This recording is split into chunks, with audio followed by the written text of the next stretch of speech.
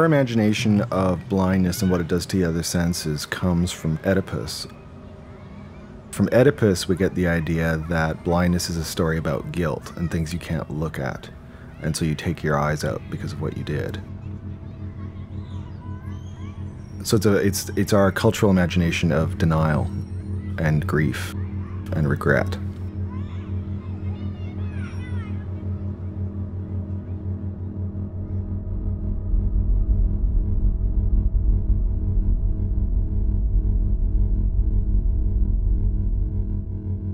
You go through something like I did of going blind young, you're a kind of monster. You're a kind of omen.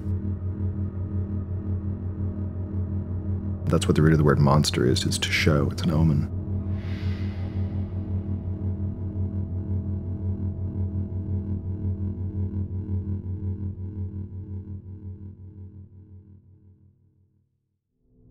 I am one of those people who hated the police before I became a cop.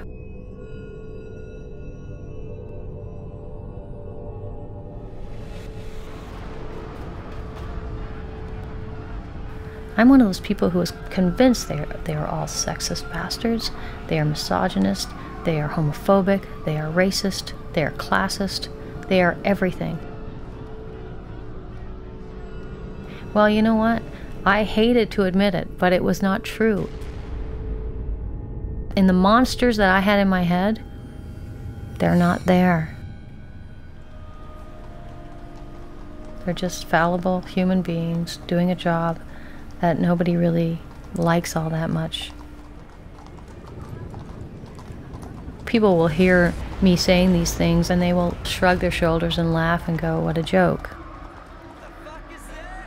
You know, like, you guys have all this power and we don't feel sorry for you, blah, blah, blah, right?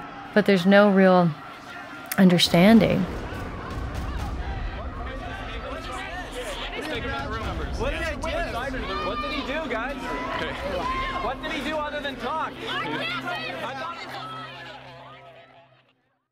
I love adventure. I can never do a desk job.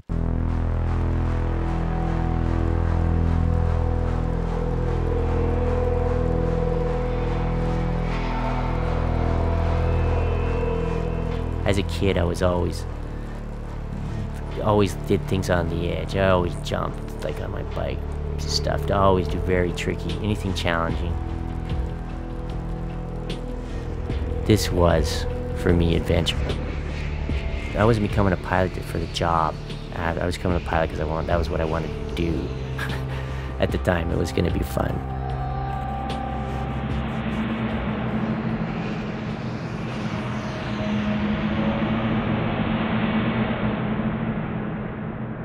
People would say it's risky. I mean, but I mean, I was anything that would you know run, bring the adrenaline up. I I was into. Living with a little bit of adrenaline rush, it's the way to go.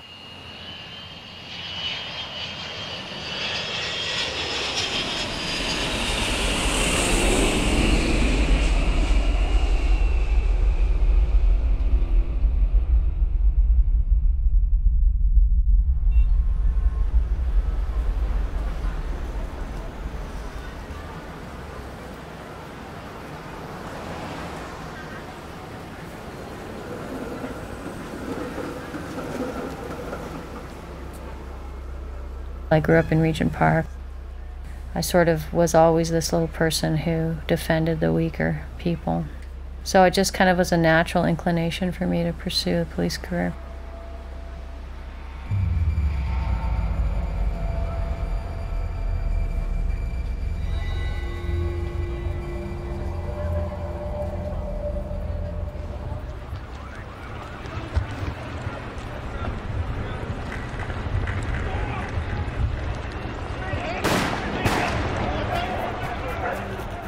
Have to say that the fear of being killed is minimal. I don't have that fear. Probably because you couldn't really sustain a career with that in your head every day.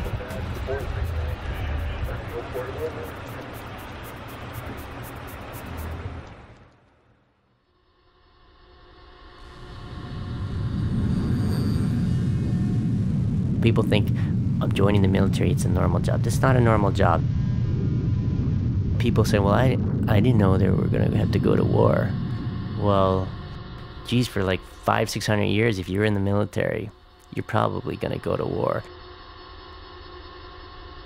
If, the, if you don't live for it, if you don't make it part of your lifestyle, then you're going to be in trouble. So when you join, it affects the whole family. It's very challenging and potentially very dangerous depending on what you do.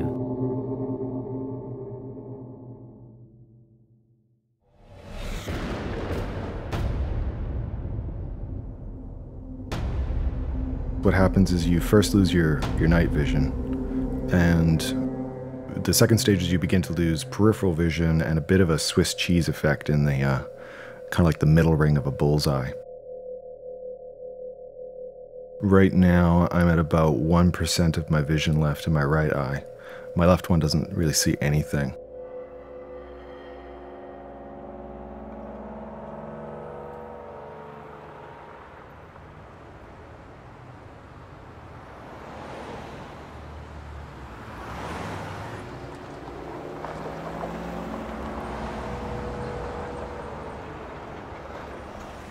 I stop people and I see the fear in their face. It's heartbreaking how frightened they are. It's like, relax. Because of this mythology around us that we have engaged in perpetuating. My paramount interest is protecting you and defending you from the people who will take advantage of you.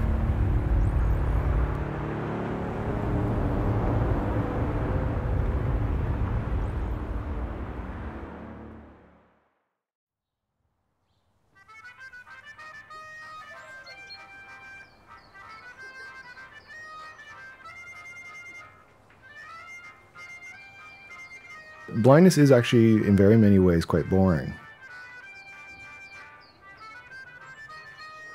I mean, the other senses aren't nearly as stimulating because their narratives aren't as complex as visual narratives. I'd like to think it's it's as rich a world as being sighted, but I really don't think it is in the end.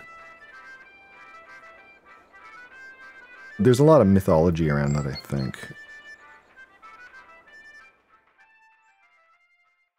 There's all kinds of mythologies around police officers. There are still attitudes that females shouldn't be on the job. You can't protect yourself. You don't have my back. You're weaker. Can I drag them out of a room if they're 280 pounds and six foot seven? Can I carry them to safety if they're shot? And you know what? Those are legitimate concerns. Right, have you got anything on you shouldn't have before surgery? Those are fears.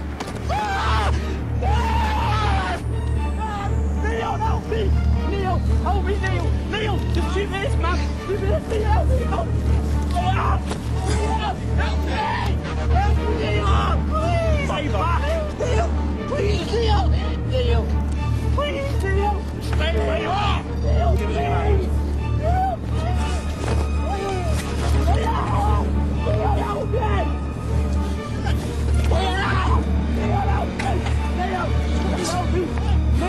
Help me! Please! Stay back! Neil! Please, Neil! Neil! Please, Neil! Stay where you are! Neil, please! Neil, please! Neil! Neil, help me! X-ray Alpha, assistant Hilltown Road.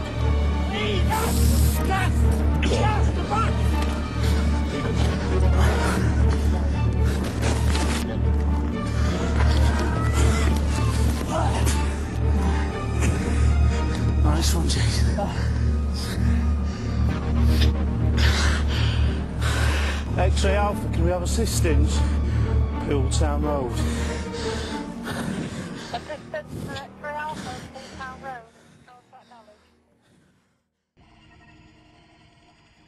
There's female pilots, female loadmasters. You name it, they're all over.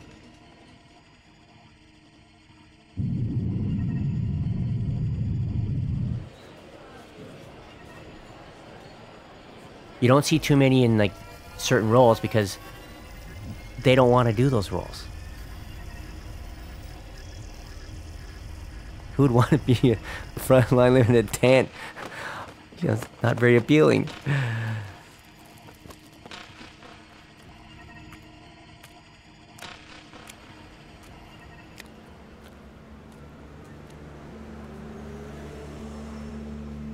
But there are still a lot of young guys who don't want to work with women.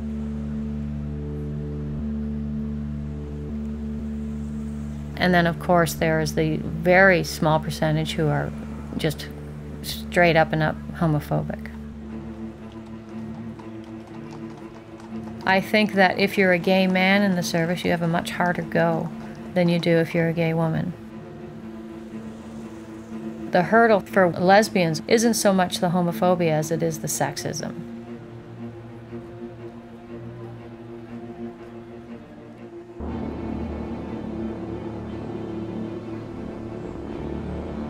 Usually they're very, very macho type guys.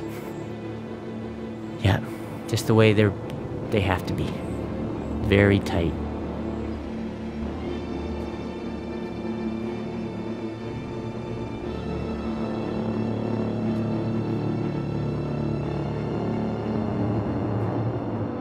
one of my friends, he was like the biggest pig.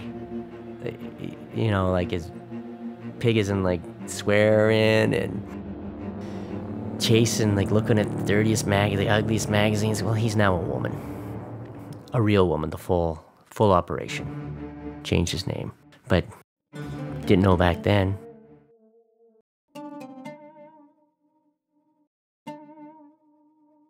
No one cares unless you're not doing your job.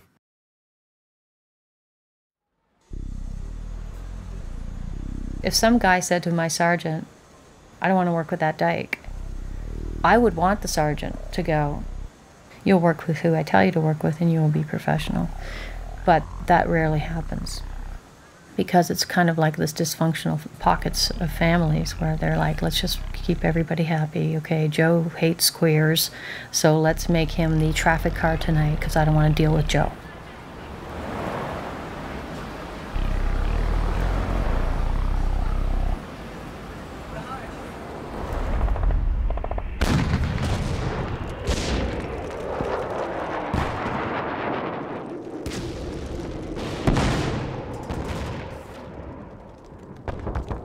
most people in the military don't broadcast they're gay.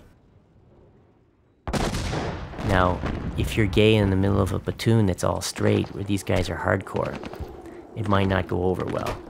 It might be discrimination, but if that person could potentially get the whole group killed, then you're going to have to think about the bigger picture and maybe move them into some other job. You know, just have to be able to do your job.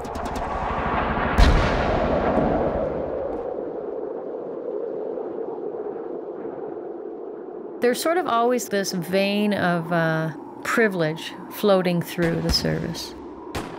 Male, white, six foot, and all the studies show, you know, the Ivy League boy who, who gets the golden running shoes when he graduates from the police service and, and is shot through the promotional process. And there's always those stories.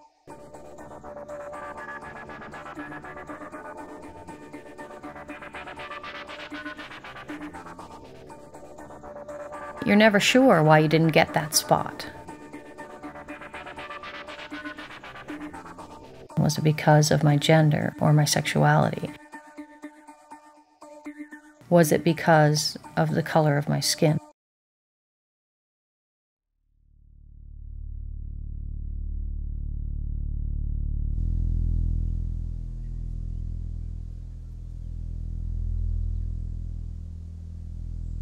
I'm kind of like a minor celebrity in the neighborhood. Everybody knows me. You're a fascinating image and you have a peculiar life. You know, you're, you're visible, you're conspicuous, you're the blind guy. So at least three or four times a day, I have to tell somebody what I can see and what I can't. You know, imagine that over 15 years.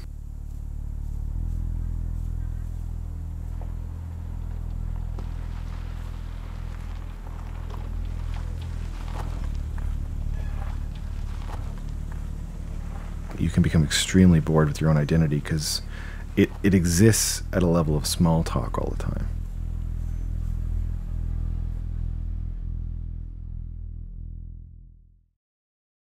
The hardest thing to adjust to, I think, is uh, how you measure enacting that power.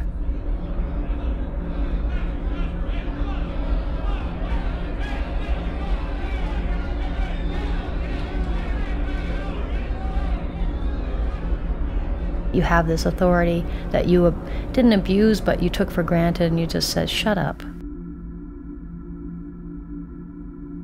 Like just something as simple as that, telling somebody to shut up. And going, wow, that was really disrespectful. Sometimes you go home and you go, you know, I really didn't have to have done that to that girl. I should have done it this way. You can never make it right after you've done it. And sometimes you fall down. And I have fallen down.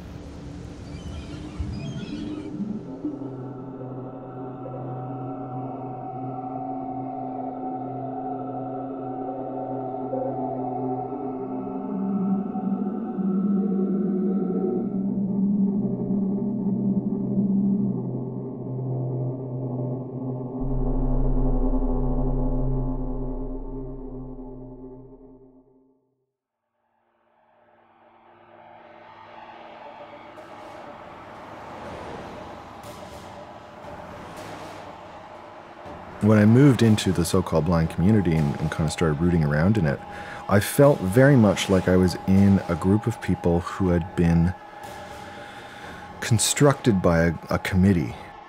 And I think a lot of it's very artificial. I really don't think the blind have a culture. I think they're a fake class. They're just kind of warehoused on the edge there I think blindness primarily exists as a community because disability is mostly a labor identity. It's mostly a way of dealing with people who don't fit well in the workplace.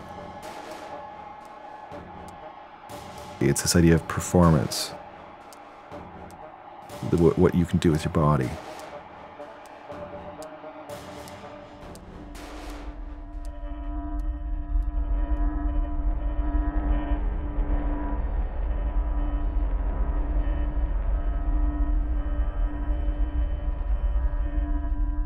When you're flying, you want to be a conservative type.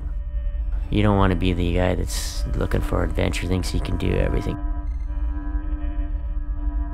All the people that do these special ops stuff, they do extra training. They pick because they get good judgment and usually they're very stable individuals.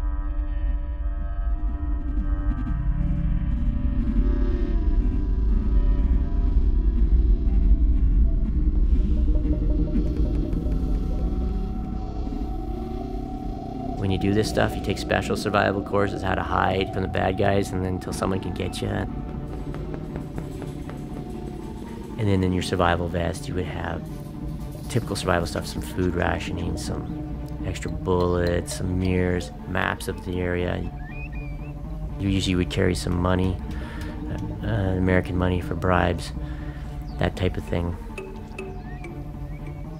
I would usually carry chocolate bars figure if I was going down, I'm gonna get killed somewhere. As well eat chocolate.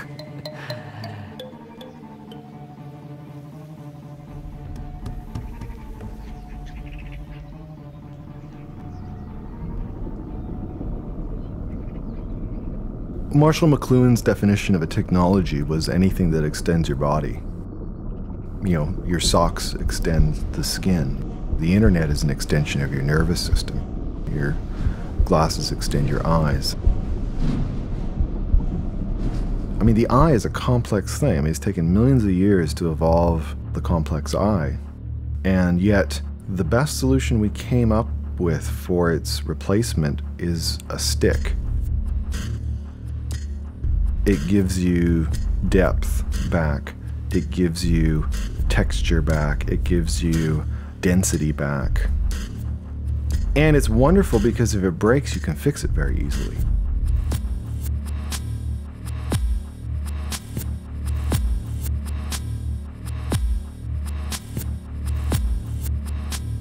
I was very much exposed to the lesbian feminist uh, rhetoric around deconstructing the own prejudices that have been embedded in you as a, or me as a white woman with white privilege.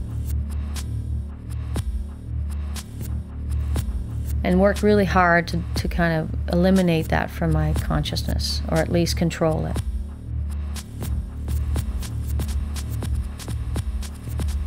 You can become almost prejudiced in terms of how you deal with crackhead. You know, it's like crackheads, crackheads, dismissive. And if you're not vigilant about how your calluses start to form, then you can really not provide the services that they are owed.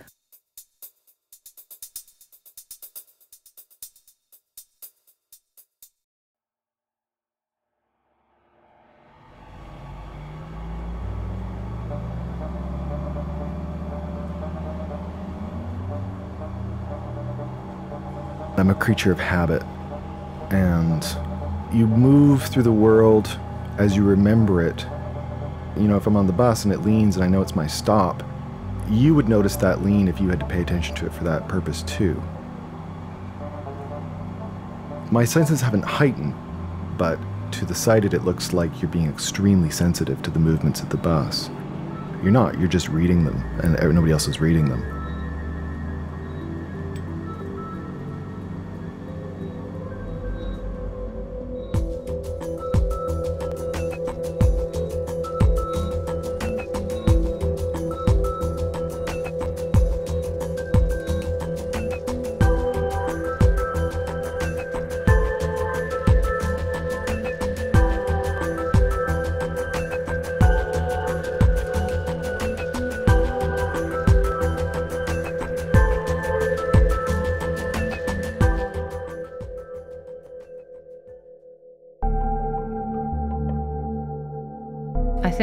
Star and the racial profiling thing really caused us a lot of damage.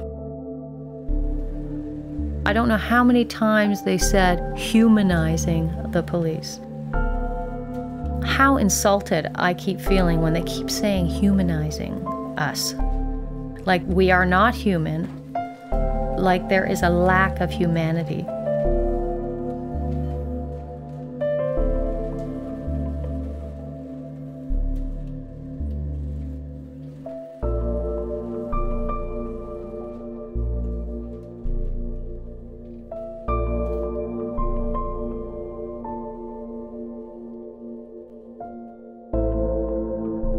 Think we're our own worst enemies.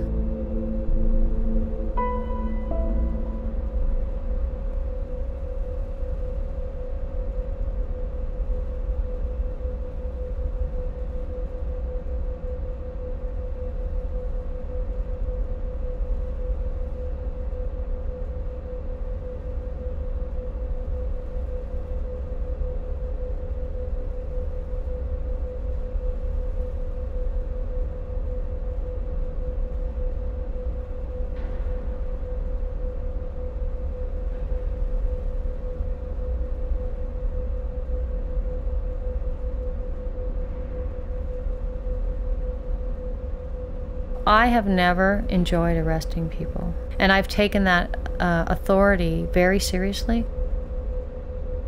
I always, in the back of my head, have a consciousness about what the repercussions of every arrest is I make.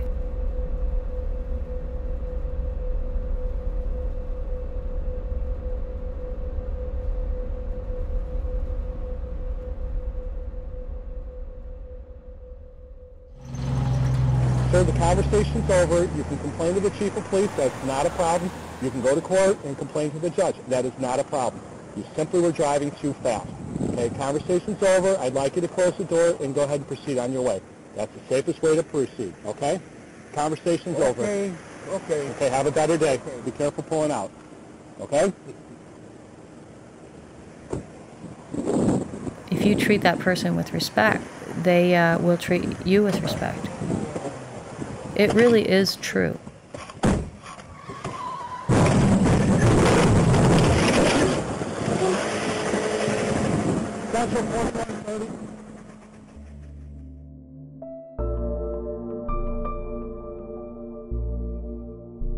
I have not very often had to use force to make an arrest. Very, very rarely.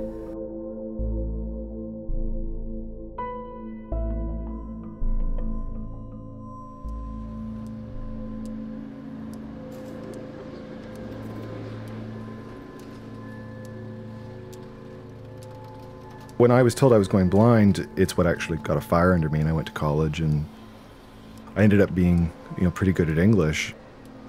And I began to realize as I was going blind that language was going to be my surrogate sight. I, I took a real care with words after that.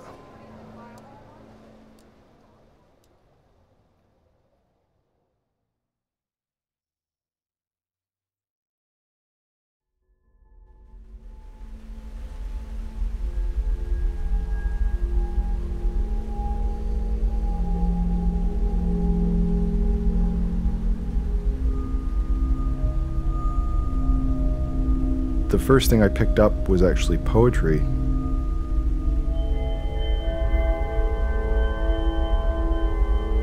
I still think it's probably one of the, the greatest human inventions.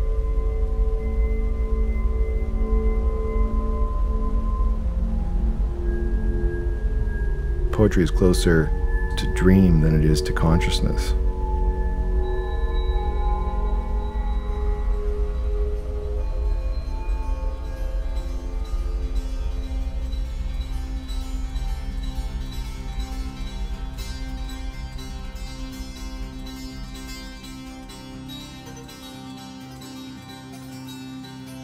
Music I came to as something to learn which has nothing to do with language. It's about time, and it's about that elegiac quality of time passing. You're really playing time. It's fleeting, like you don't get to go back.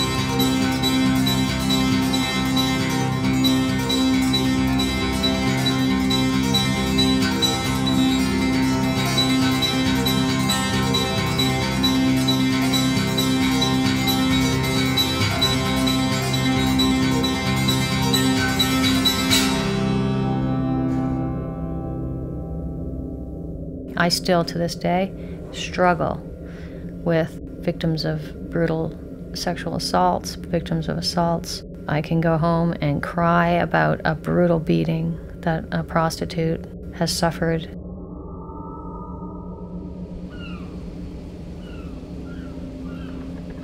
I've struggled with what I swore to uphold.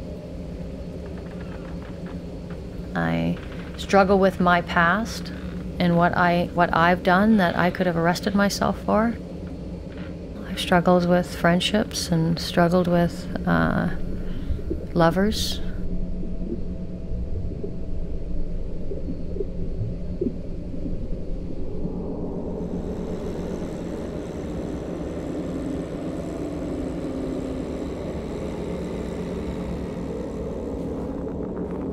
You live in a state of feeling sometimes like you're a bag that somebody carries because you're never the one who carries the other person in the same way. So you have this guilt because you, your blindness isn't your own, it, it belongs to anybody else around you.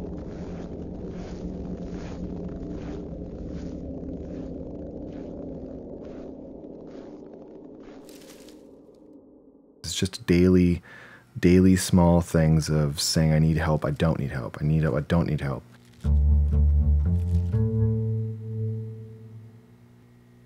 You really fill up with a kind of debt because people are always helping you. And it's very hard to give back in kind to the same degree when you walk through the world constantly being helped.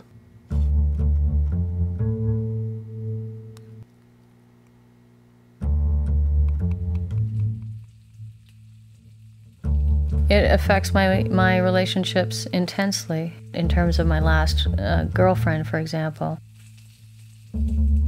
You know, my girlfriend would go to kiss me and on the street, and I go, "Honey, there's that guy arrested. I don't want him to associate you to me in case he sees you by yourself."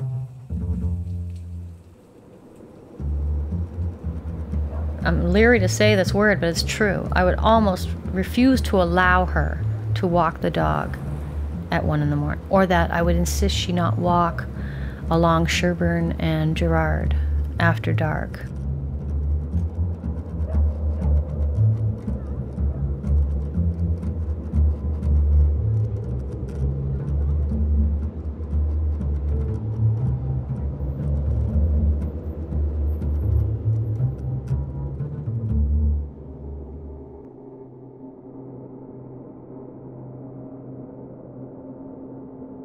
It's very odd for my wife to live in a house where, you know, I haven't seen her in probably five or six years.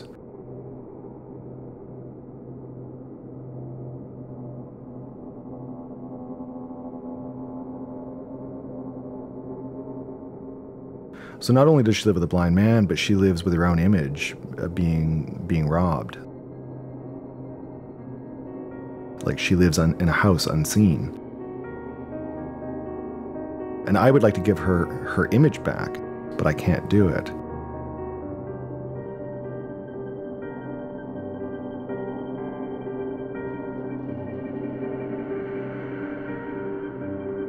I'm starting to forget a bit what she looks like.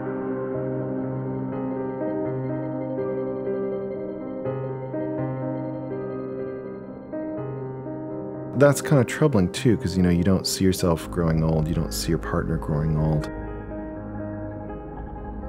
And I think the character on your face is, is, is are the stories of your regrets and the amount of smiling you did or frowning you did. It's a way of keeping in touch with where you've been. It's it's kind of like going through your your diary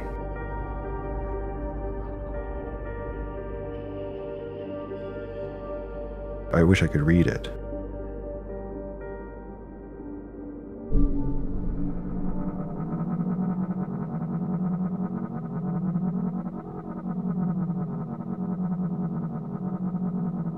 You're kind of like, no, don't speak to him. Oh, I can have a feeling about him. No, this guy's not right. No, I'm telling you right now, I know these kinds of things that actually were controlling her life. And embedding in her a fear of the world that I shouldn't have embedded.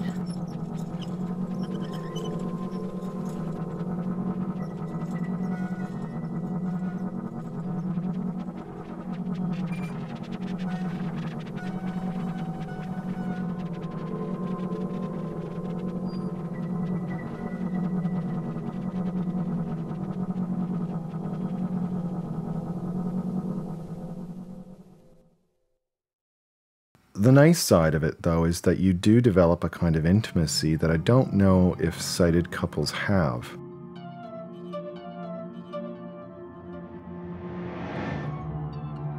Truly, my imagination is, is filled with the things Tracy chooses to tell me from the world around me.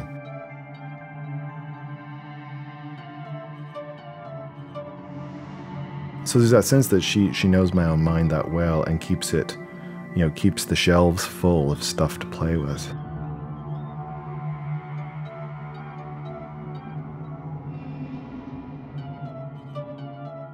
Uh, and again, you, you have that sense of you don't know what you're giving back in kind.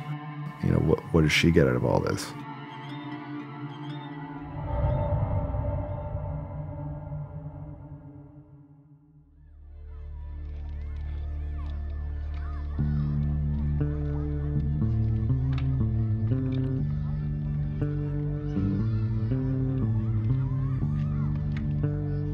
My biggest fear for my nephews is that they get involved in violence from the pressures of, of how hip it is to be a part of a group.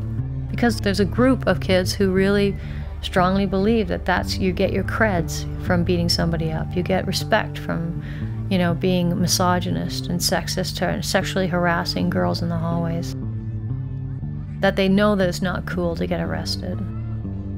That they learn that that's fucked and that it gets them nowhere.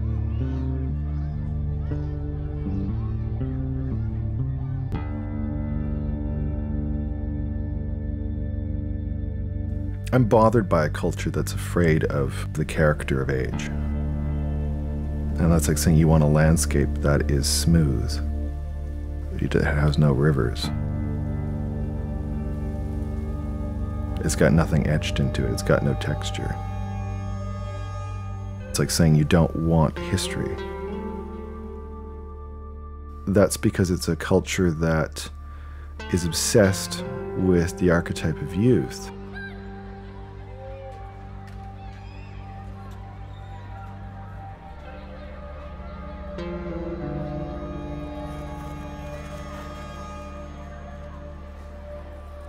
There will always be Peter Pan as long as children are gay, innocent, and heartless. And the reason children are heartless is because they have no memories, they have no regrets.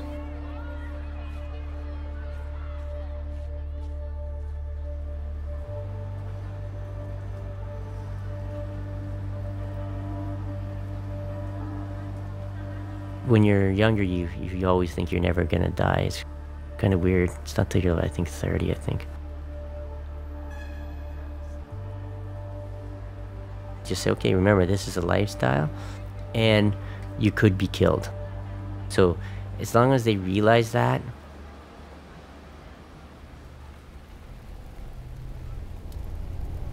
I uh, had occasion to investigate uh, a particularly heinous child pornography case where the pictures were so disturbing that I couldn't have sex for a couple of months. I couldn't, without having that flash in my head in the middle of sex. That flash of that three year old being raped.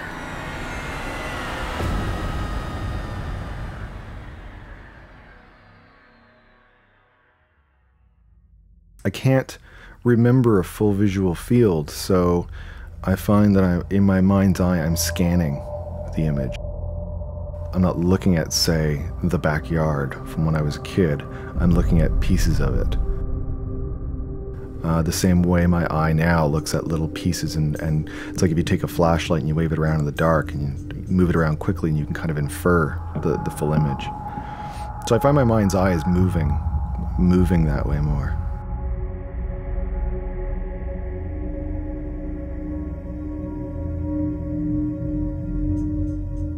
I don't ever have wanted to see something like that in my lifetime. And those are the kinds of things you do. But you're in the middle, you've placed yourself in the middle of trauma because for some reason you're drawn to intervening, into making something better. And I think a lot of cops have that sort of struggle between, ah, I didn't really want to see that, too, but I'm going to make it right. I'm going to intervene. I'm going to have some control over helping this person.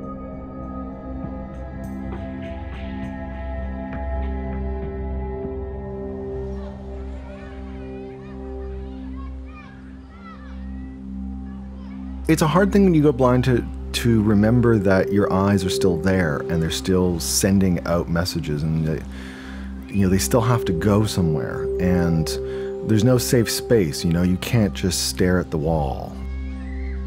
Or i might be staring them square in the earlobe. I spend a lot of time with my head down. It's just safer Like I still catch myself asking what people look like, and then I, I wonder what the fuck do I care? What? Why am I even asking?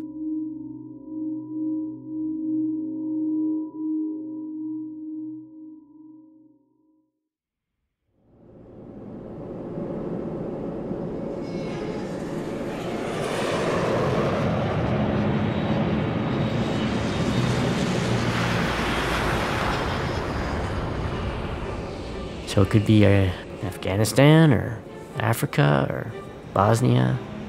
Once you're in the zone, it can be boring or it can be very exciting. it can go from one extreme to the other, but you're you're running on you're basically running on an edge the whole time you're you're in that area. Just just like at the peak of your whatever senses are all up.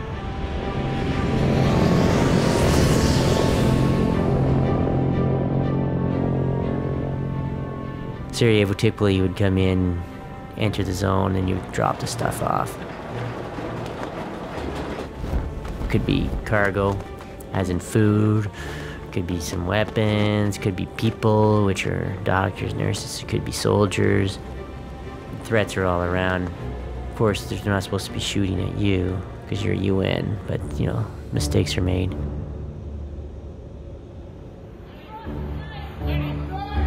You know, there are moments, and you're trained for these moments, when things can go terribly wrong.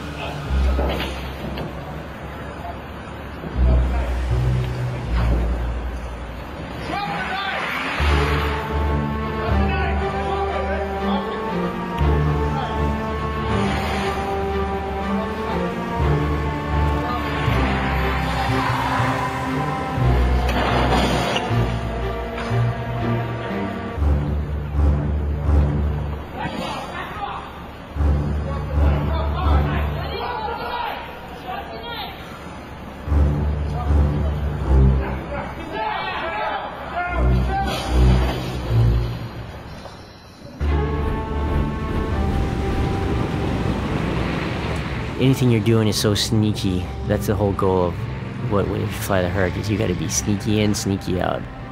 You'll be going in at night, low level, with night vision goggles, that type of thing. You want to make sure that you, you're putting it on, right on the line, or you could be the dead guy in the uh, the dogfight. Every man around you is, is counting on you. If it happens, then you train for it, but your chances of survival are very, well, slim, not great.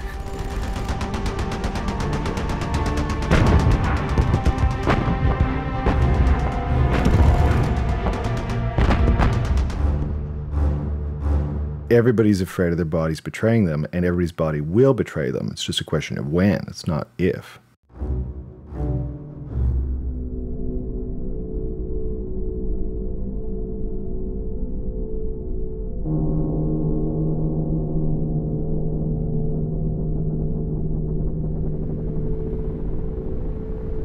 My uh, consciousness shifted about my own neighborhood when I started policing it.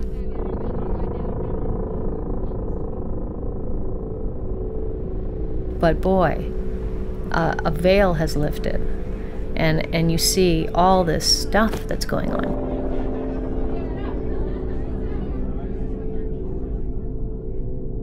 You know the guy you passed, you arrested last week. You know the other guy's a drug dealer. You know he beats his wife. You know this guy's a pedophile. The possibility of running into a gang member that you arrested had a fist fight with to get him into handcuffs. I've had moments, scary moments, of uh, guys that if they recognized me, it would not be pretty. There are moments where I go, I've got to get out of here.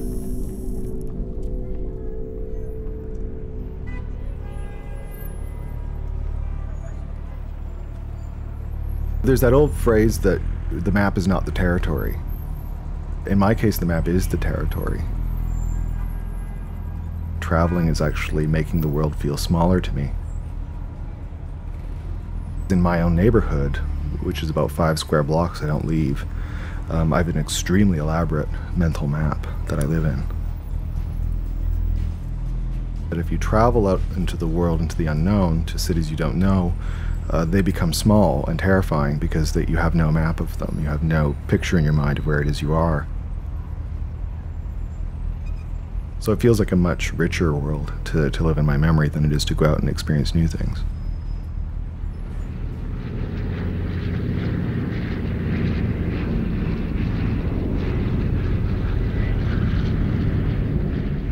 We were in Rwanda right from the beginning when we used to go in there, we'd come in, we'd do fly total low level, go in and out. It was quite exciting. The war zone, or the, the slaughter, depending on the, they were fighting amongst each other, would go, sometimes it was right at the airport. There'll be guys there to protect us, and there'll be guys looking to kill us. Anyway, you land and then you would offload with your engines running and everything's done within five, six minutes because they don't want a plane on the ground there that could possibly be a target. As soon as we pulled up, a heat seeker was launched towards the aircraft. We have equipment that monitors like missiles being shot at and we can disperse either flares or chaff to try to avoid being hit. And this way, we're hoping that the missile will go towards the flares and uh, not the airplane. Now we want to get back to the ground, low as possible. Then we shot some more flares out, and we proceeded to get down about oh 100, 200 feet off the ground and scurried our way out of there to avoid being shot at again. That was the closest call. I had probably used about eight lives there. Just missed. You should always be vigilant. Always know where you are. Always watch the hands, or we, call them the delivery system. Uh, never allow someone you're investigating to keep their hands in their pockets. I see everything. I see the drug deal out of the corner of my eye. I see the guy who looks like he could be violent clenching his hands while he's coming towards me. I see all of that.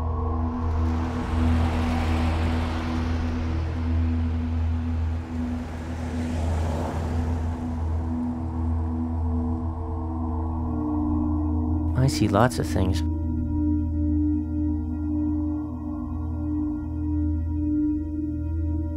In Rwanda, I mean, that's a drastic case. That's where you get one tribe just slaughtering the other one. It's, of course, true because I was there and saw it.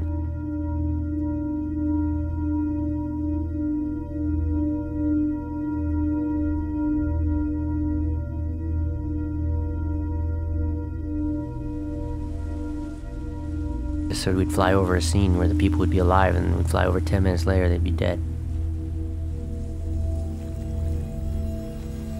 And then we'd see them in the river. Much like a log jam in the river, you see in a very bendy river, the logs all jam up in the corners, and they would be floating there bloated. And they would change every day, and you know it changed because you could see the different outfits people were wearing. But yeah, of course you'd see slaughters. I can't even begin to understand a boy beaten and stabbed to death. And, you know, dozens of people walk by and not one police call.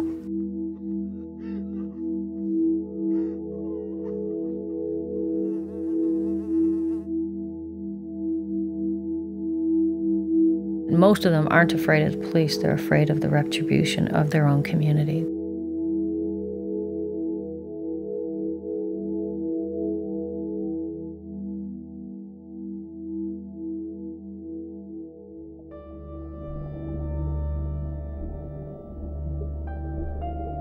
So I think there's something kind of melancholy about sight.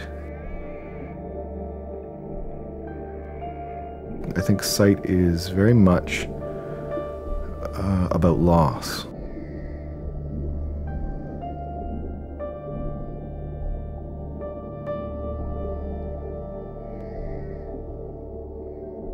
Seeing is actually, by its very nature, um, filled with, with holes and absences and things that have gone unwitnessed.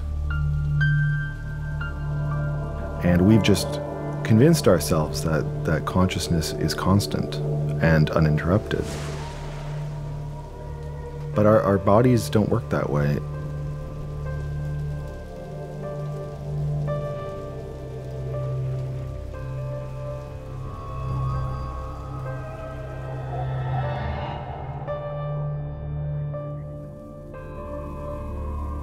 There's still that quality that you're seeing the present, but it's already the past.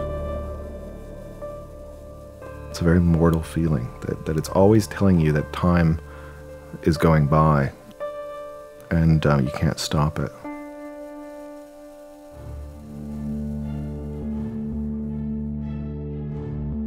The hardest thing for like a, me would be handling the stress. I mean, emotionally, you'll see things that you're not you're not used to, but you can't let it control your life.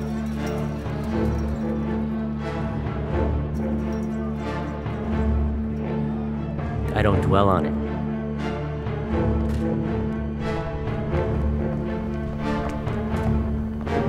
One of the hardest things that ever happened to me was that I was one of the first people on scene of the baby that was born in City Hall under the steps, frozen to the cement from the afterbirth. Everything slows down. You're looking down at this newborn baby who isn't going to make it. You know, she's hypothermic, she's premature. Instantly thinking it was a joke, that it was not a real living baby, that it was some sort of special effects film freak who's playing a joke and filming the police from a distance going ha ha ha.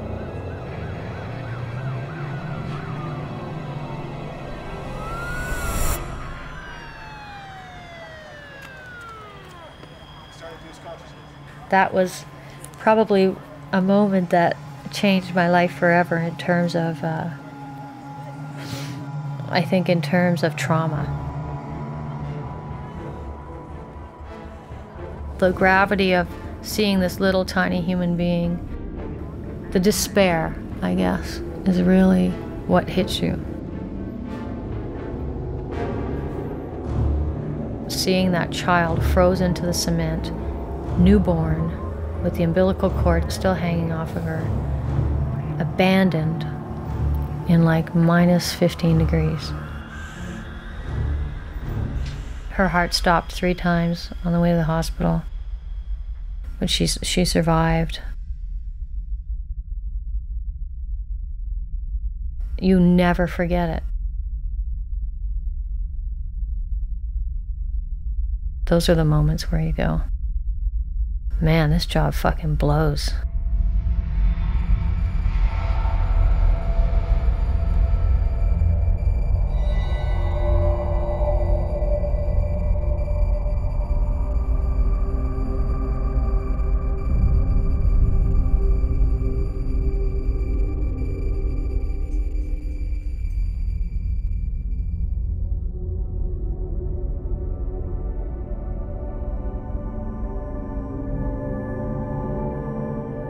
Lots of people have trouble enduring some of that, and we would monitor that when we were flying. You know, you you might be able to see that. Oh, all of a sudden the person is drinking all the time. You know, not just some of the time. Like no, what normal is, or you could see them having quasi anxiety attacks, and you monitor that, and then you could well, you could pull them out of the situation. But of course, they monitor me still. They'll send me letters asking me if I'm having any post traumatic stress syndrome.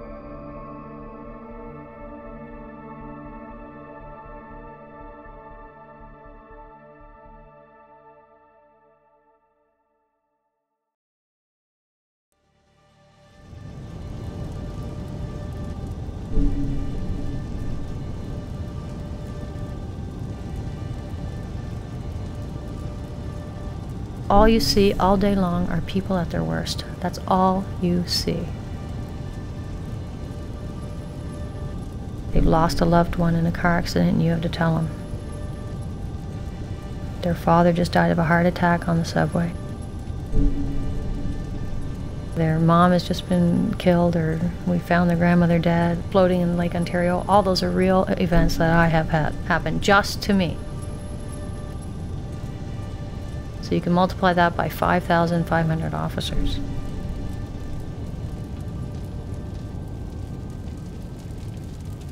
I heard a story about a guy once who put his left hand down on a hot element on his stove and burned his fingertips. And lost the feeling in them, basically. He suddenly had to learn Braille all over again with his right hand. And he said, It's not like you can close one eye and then just open the other one and read it was suddenly like everything was backwards. He couldn't feel the letters anymore. He had to learn it all over again.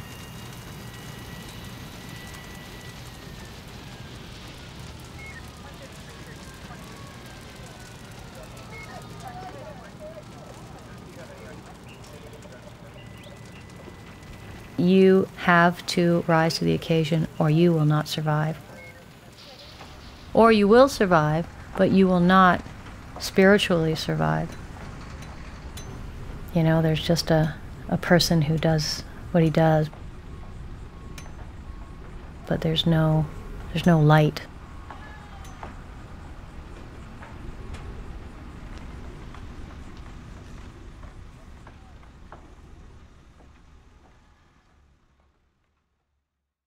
You have to adjust to that. You mean there's lots of people that lose it. I had a friend commit suicide.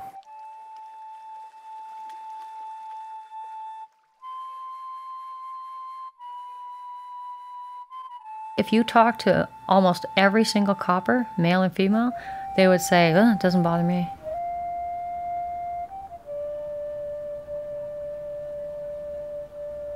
There's an opinion that if you just let the lid off of that, then you will not be a good police officer. Once you admit to an issue, there's concern that it's put in your file, there's concern that it'll affect your career. There's like, oh, Joe uh, was in rehab. No, we're not going to take him on the squad. I'm not risking that.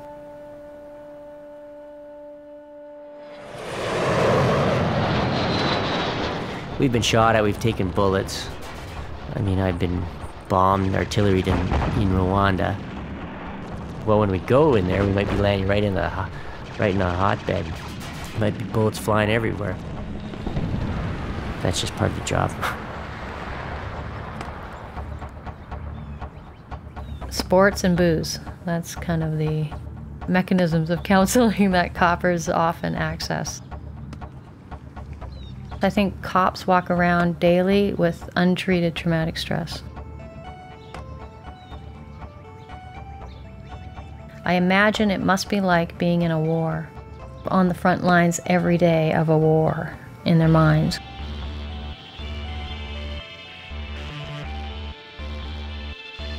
Sometimes I, I worry for them.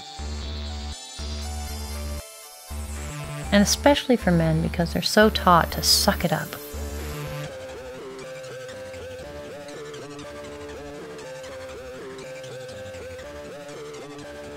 They're their own worst enemies in terms of really sharing with one another.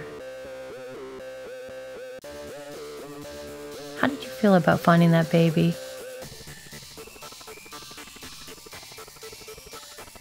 What did that feel like for you?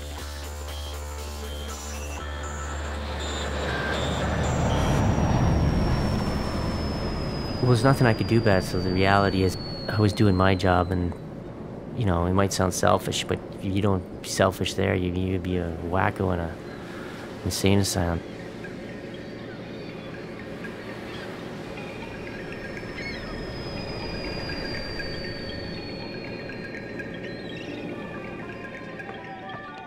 That's what happens to cops. They just stop telling people. I can't do this. I can't tell her what happened to me today even though you really want to. Just let it out. You can't share this with people because you traumatize them. You can't be a police officer if you can't handle trauma and stress and violence and adrenaline dumps and negativity.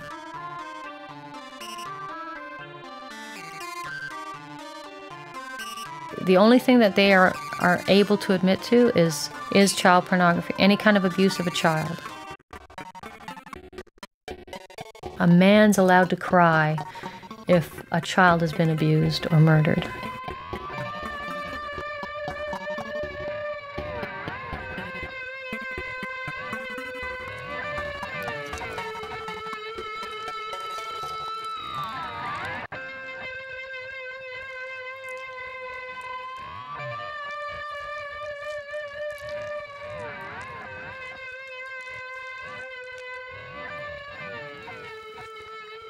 Nothing goes terribly wrong if you know what you're doing. You also got to be lucky anytime you're at war. It's a lot to do with skill and luck. The lucky survive is what it's more like should be called. I don't like being around cops. I don't like discussing how fucked the job is. That's, you know, a mantra on the service. The job is fucked. The job is fucked. There's an attitude where you arrest a guy who murders, you know, somebody and he's out on bail the next day. And it's like, why are we bothering? You know, why are we risking our lives to put these people behind bars when the judges are letting them go in two years? Like, what? Why? I almost lost my life. My family almost lost their father or their mother for this guy who gets two years less a day for killing his girlfriend, you know, or almost killing her. I gave up a long time ago on thinking that the justice system would give me any any satisfaction because it's a joke. Now, if you don't want to do anything, you could stand back and, and watch what goes on in the world. But then you, you know, personally might be disappointed.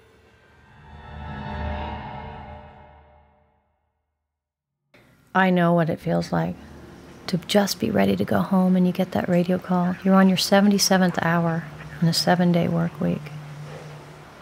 And you get that radio call just as you're turning into the station that says, John Doe again on the corner of Gerrard and Sherbourne, passed out face down. And you're like, yeah, he's always passed out and face down, dispatch. What do you want me to do about it?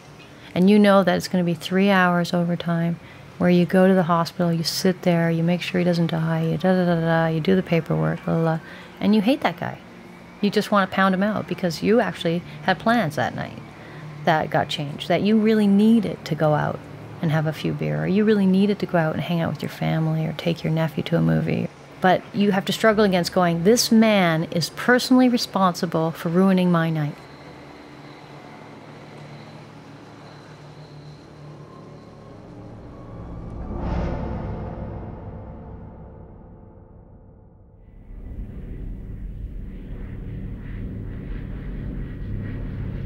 I did 12 years in the military. If you're a hurt guy, you're gone basically 270 days a year. If I was going to do the family thing, I wanted to make sure I was going to be the proper dad. In order to be the proper dad, I knew I had to be around. I wanted to be around. So I got out and joined the airlines. I could now stay at home, play with my kids, or go mountain biking, which I would prefer to do.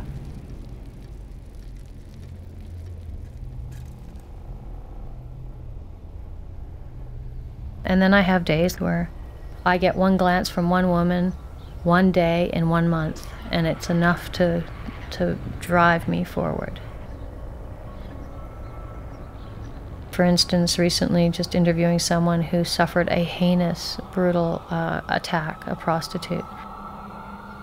And she looked at me and started talking, and I could see in her eyes that, uh, that she knew I believed her. And you could see her body just relax. It matters that she saw that she mattered and that it didn't matter that she was a crack addict, a prostitute, you know, a mother of three children she's abandoned for her habit, maybe an unkind woman. She's all those things, and I give a shit that she got beaten up. Those are the moments that I feel like I'm exactly where I'm supposed to be. And those moments are rare for me.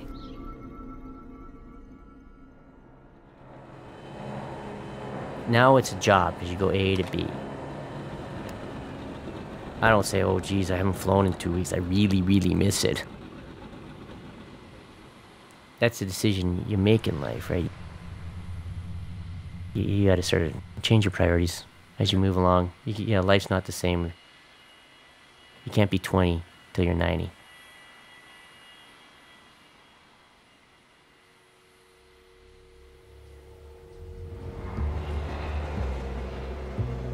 In terms of memory,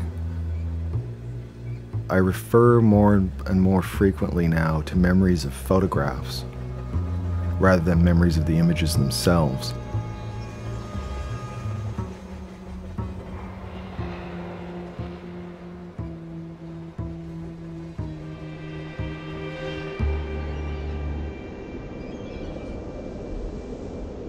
If Somebody said something to me that really rang true. They said, Sometimes you're the only Bible that someone picks up.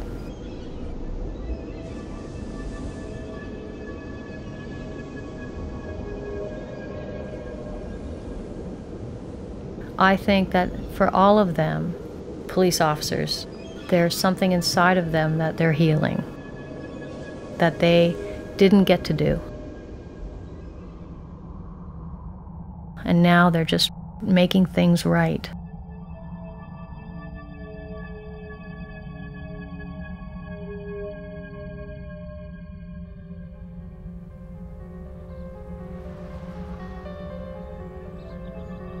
I think that that's an incredible gift.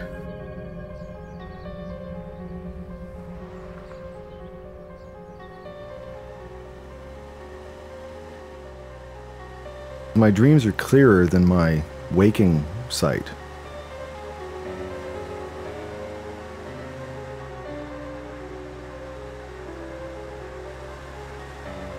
In my dreams, I don't use a cane.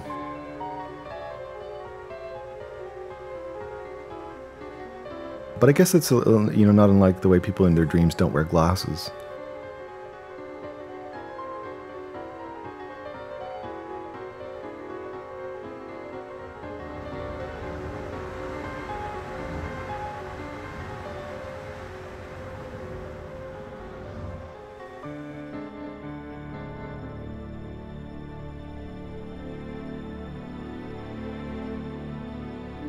It's an incredible life experience. I have to say that.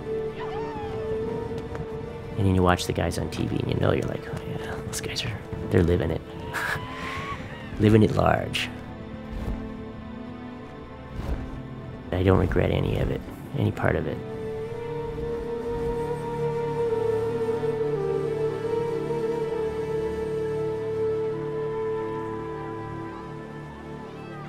I call some days my dying days.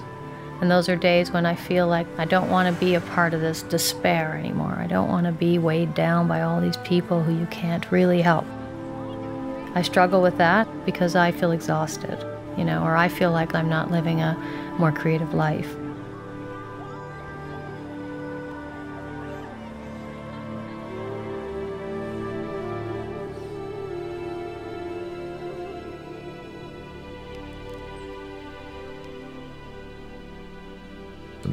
Blind, but I didn't know how to be a blind person yet.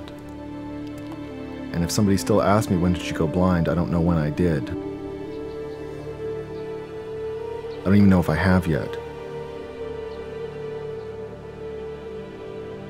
I still refer to myself as a blinding man. I mean, I don't, I can't read anymore. Is that enough? Maybe it's when there's no more light. Is that enough? Well, I don't know.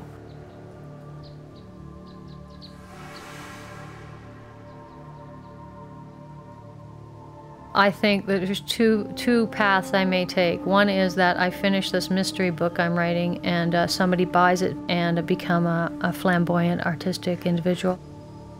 And on the other side, I uh, get promoted through the ranks of the service, and I retire at the age of 60, collecting my pension and going, I really should have written that book.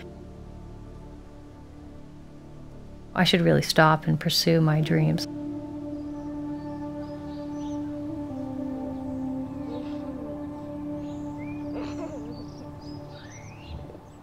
We're going to have a kid in January. That could be the hardest thing.